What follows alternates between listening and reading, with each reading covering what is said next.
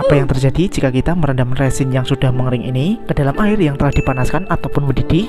Apakah resin tersebut masih bertekstur kaku ataupun sebaliknya?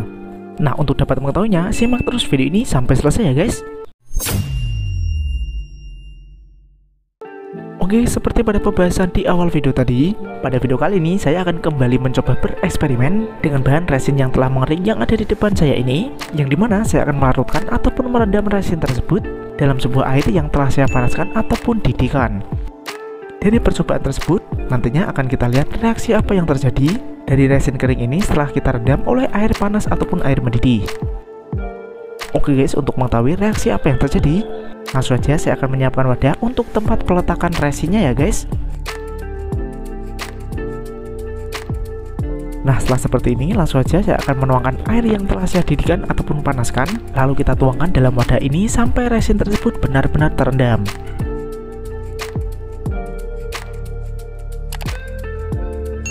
Pastikan untuk resin keringnya dapat terendam dengan sepenuhnya ya guys Oke setelah seperti ini kita dapat menunggu saja beberapa saat sampai resin kering tersebut dapat bereaksi setelah terendam oleh air panas ataupun air mendidih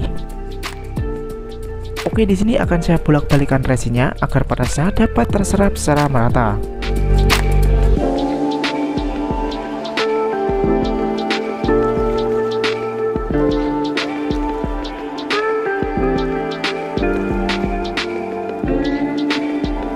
Oke, di sini untuk proses perendaman resin kering dengan air panas sudah cukup. Sekarang kita angkat resinnya dan kita coba memegangnya. Nah, setelah saya pegang di sini, ternyata untuk resin tersebut masih bersuhu panas. Dan setelah saya coba bengkokkan, ternyata untuk tekstur resin tersebut menjadi agak lentur setelah terendam oleh air panas ataupun air mendidih tadi ya guys. Ini dia kalian bisa melihatnya dalam video, resin tersebut dapat melengkung dengan mudah. Namun lama-kelamaan untuk resin tersebut akan kembali pada wujud semulanya. Sekarang kita bisa lanjut pada objek resin yang satunya lagi, Oke, saya ambil terlebih dahulu untuk resinnya.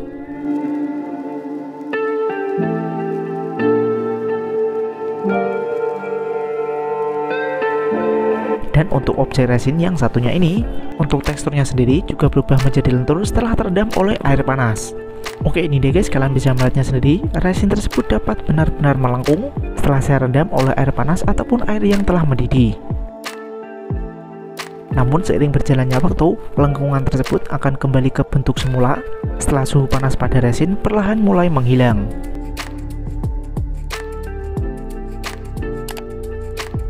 Oke guys, terbukti pada percobaan kali ini jika kita meredam resin kering ke dalam air yang telah dipanaskan ataupun dididihkan, maka tekstur dari resin tersebut akan berubah menjadi agak lentur dari yang semula keras dan juga kuat sehingga dapat kita bingungkan ataupun kita bentuk dengan leluasa ya guys.